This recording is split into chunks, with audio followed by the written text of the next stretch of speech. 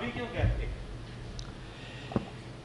Doctor Ranjha صاحب، اس نام نے نا اتنا مسلمانوں میں انتشار پیدا کر دیا کہ بعد میں یہ نام گڑا گیا۔ صدیوں بعد، نہ اللہ کے رسول نے یہ لفظ بولا، نہ صحابہ نے بولا۔ بعد میں یہ نام بول دیا گیا سلاد تراوی تراوی کی نماز۔ لوگ شبہ میں پڑ گئے کہ یہ شاید کوئی الگ نماز ہے۔ آپ حضرات بالکل یقین جانیں، اللہ گواہ ہے۔ کہ دنیا جہان میں دفتر حدیث میں ایک لفظ نہیں کہ رسول اللہ نے رمضان شریف میں کوئی نئی نماز پڑھی، کوئی نئی نماز نہیں پڑھی، ایک رکھ نہیں نہیں پڑھی۔ وہی نماز تحجد جو آپ کی عادت تھی، وہی پڑھتے تھے، وہی گیارہ رکھتے تھے لمبا پڑھتے تھے ان کو، خوبصورت بنا کر پڑھتے تھے۔ اور یہی حضرت عمر رضی نے حکم دیا۔ جب انہوں نے دو کاڑی پر کیے، پہلے انتشار تھا کہ لوگ اکیلے اکیلے پڑھتے، یا دو دو تین تین مل کر کئی جماعتیں الگ الگ کرتے۔ انہوں نے کہا، یار اگر اس وقت ہی تم نے پڑھنی ہے تو بہتر ہے کہ میں تمہیں ایک امام پر اکٹھا کروں۔ پھر ایک دن آئے جماعت ہو رہی، آپ نہیں شامل ہوتے تھے۔ نہ حضرت علی ہوئے، نہ عثمان ہو کبھی اس جماعت میں شامل نہیں ہو۔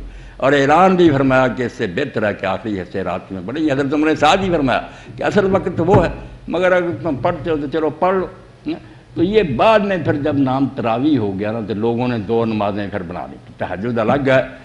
تراوی الگ ہے۔ آپ نے کبھی ایسا نہیں کیا کہ اگر یہ نماز پڑھ لی ہے گیارہ رکھیں تو پھر پچھلے حصے میں پڑھی ہو اب بھی آپ مسئلہ یاد رکھیں کہ جب چار فرض اور دو سنت پڑھ لیتا نا آدمی، اب جو نماز شروع ہوتی ہے نا، بے شک آپ بہتر ہی پڑھتے ہیں۔ یہ عشاء کا حصہ نہیں ہے، یہ قیام اللیل، رات کی نماز کا حصہ تھا جس کا، جو آسانی کے لیے ہمیں اجازت مل گئی ہے کہ جو اٹھ گیارہ رکھتے ہیں بھی اگر کوئی شخص محسوس کرے کہ میں نہیں اٹھ سکتا پچھلے عشاء کے ساتھ ہی پڑھ لے، تحجد ہو جائے گی۔ وہ گیارہ رکھتوں کا حق ادا ہو گیا، تھوڑی پڑھ لے تب بھی ٹھیک ہے۔ تو اصل میں نماز جو ہے نا، قیام اللیل، قیام رمضان، ایک ہی ہے تحجد کوئی الگ نماز نہیں۔ مگر جب شروع کر لی، بعد میں لوگوں نے، حضرت مردی نے نہیں کہا، گیارہ ہی تھی۔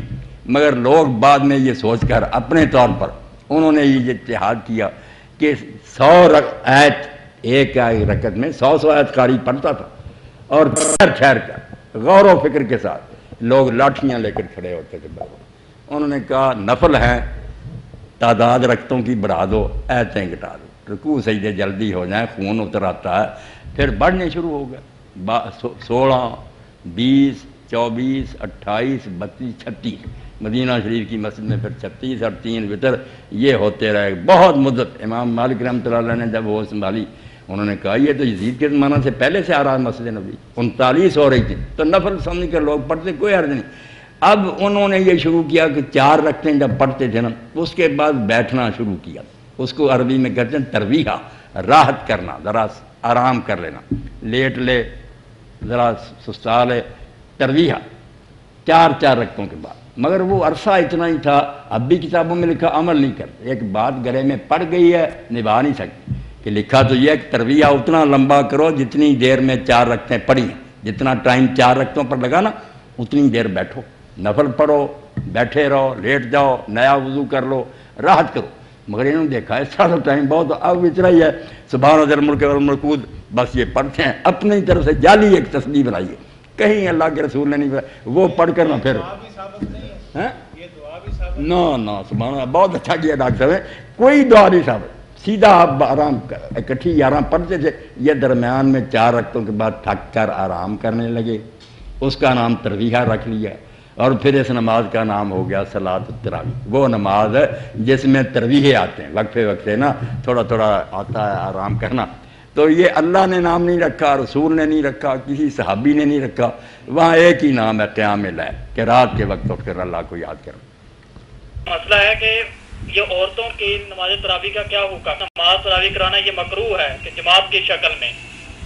تو اس کے بارے میں کیا فرماتے ہیں؟ کوئی مکرو نہیں ہے۔ کیوں مکرو ہوگی؟ کہتے ہیں کہ عورتوں کی نماز کی یہ مکرو کی دلیل کیا ہے آپ کے پاس؟ کیا جو کہتے ہیں کہ اس کی مکرو نہیں ہے تو اس کی دلیل وہ مانگتے ہیں کہ کہتے تھے آپ یار عجیب گاڑی چلاتے ہیں الٹی کہ جو مکرو کہہ رہے ہیں کہ یہ کام ناجائز دلیل تو انہوں نے دینی ہوتی۔ جو کسی کام کو کہیں نا ناجائز یہ کلیا یاد رکھیں تراوی نہیں جب بھی کوئی کہے گا یہ ناجائز ہے دلیل اس کو دینی پڑے گی۔ کہاں اللہ رسول نے سے روکا؟ ورنہ ساری امت جانتی ہے کہ اصل و فلشیا ہے باہ جس کو روکا نہیں، وہ آٹومیٹک حلال ہے۔ روکنا ہوتا تو اللہ رسول روکنا دیتے۔ کلیا یاد رکھے آپ، الٹا ہمیں تنگ کرتے ہیں کہ دلیل دلیل تو وہ دیں کس نے روکا۔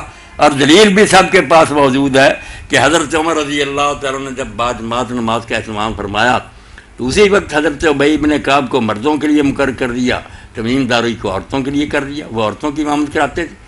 اس لیے کیوں نہ جائے؟ اور اگر عورتیں خود بھی کسی جگہ اکٹھی ہو کر ایک کو امام بنا لیتی ہیں، وہ صف کے درمیان ہی کھڑی ہو کر نماز پڑھاتی ہے، بالکل درست ہے۔ ام المومن عائشہ رضی اللہ عنہ سلمہ خود جماعت کراتی تھی۔ مکروب وغیرہ جو کرتے ہیں، یہ ظلم کرتے ہیں۔ پورا رسالہ مولانا عبدالرحی لکھنوی رحمۃ اللہ نے لکھ لیا کہ کیا دلیل ہے تمہارے پاس کہ عورتوں کی جماعت مکرو ہے؟ کوئی مکرو نہیں۔ فرضوں کی بھی ٹھیک ہے، یہ بھی ٹھیک ہے۔ باقی یہ ٹھیک ہے کہ عورتوں کا گھروں سے باہر نکلنا جب فرض نماز کے لیے بھی حضور نے پسند نہیں کیا، کہا گھر میں، گھر سے بھی بہتر۔ وہ عورت جو تھی، میں میں جی آپ نے کہا میری مسجد اب مسجد نبی کا کوئی مسجد مقابلہ کرتی؟ فرمایا میری مسجد کے مقابلہ میں اپنے محلے کی مسجد میں تیری نماز بہتر ہے۔ اپنے محلے کی مسجد سے بہتر اپنے گھر کا سین ہے۔ اور سین سے بڑا بہتر ہے کہ گھر کا جو کونا ہے نا، اندھیرا، وہاں مسلح بچا لے۔ اور ام حمید نے پھر مسجد نبی چھوڑ دی۔ حضور کے پیچھے نماز چھوڑ دی۔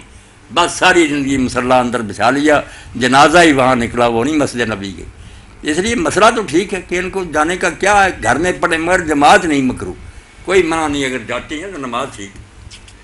جزاکم اللہ خیر اس خوبصورت جواب۔ جی ہم نے پوچھنا تھا کہ حضرت عمر رضی اللہ تعالیٰ نے ہمیں پتہ چلا ہے کہ بیس دن ترابیاں پڑھائی ہیں۔ تیس دن۔ تیس دن ترابیاں پڑھائی ہیں۔ تو رسول پاک نے تین دفعہ پڑھائی ہیں۔ ہاں ہاں۔ تو اس کے متعلق ہمیں تفصیل ذرا بتا دیں۔